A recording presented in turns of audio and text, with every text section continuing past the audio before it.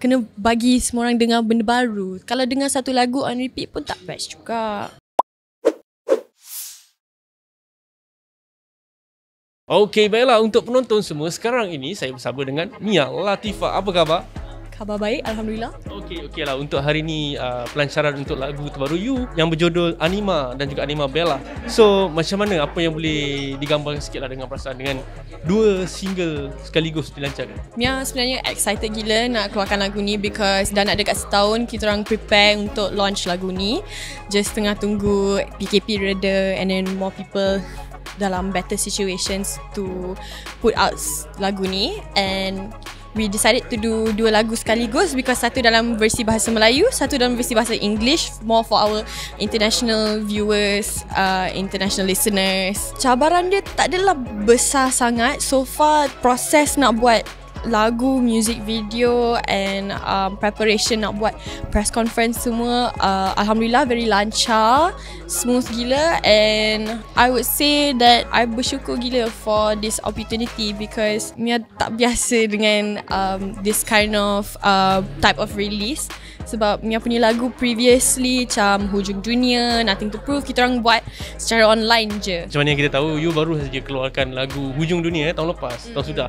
Jadi untuk tahun ni keluarnya dua single lagi. Jadi you tak rasa ke macam terlalu awal untuk you orang nak hadam lagi lagu yang tu? Ada keluar lagu baru pula. Ha, Just bagi kejutan sikit. Kejutan Tapi rasa macam Dah lama jugalah Hujung dunia tu Kena bagi semua orang dengar benda baru Kalau dengar satu lagu on repeat pun tak best juga Kalau kita tahu artis yang baru lah Yang baru nak naik ni Kebanyakannya mereka mencipta satu kontroversi ataupun satu isu untuk menaikkan nama mereka. Tapi Mia Latifah tidak ada. Saya google nama tak ada gosip-gosip. So macam mana you selesa ke benda tu? Ah sebab ada setengah orang berpandukan itu untuk naik. Mia tak tak nak guna kontroversi untuk naikkan nama Mia. Mia rasa kalau rezeki ada dekat situ and kalau betul-betul untuk Mia menjadi lagi besar, peluang dia akan datang ah. Okay, tapi you tak risau ke kalau kata you tak ada gosip nanti lama-lama orang macam Uh, pop hilang macam tu? Ha. Maksudnya tak ada rezeki lah Gitu.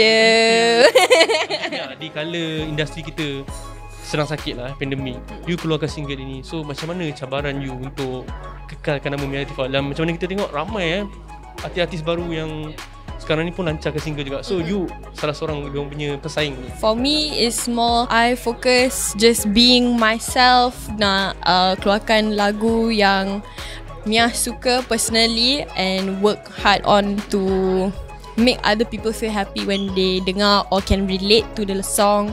So Mia suka buat lagu-lagu macam relatable. So I guess that's how Mia boleh tangkapkan perhatian netizen untuk uh, dengar lagu Mia lah. So it has to be relatable. He said Mia be my bella, sailor Mia, anima gemela. Tak bisa lagi sakitkan hatiku. Got my girl slaying up in here so I don't need you.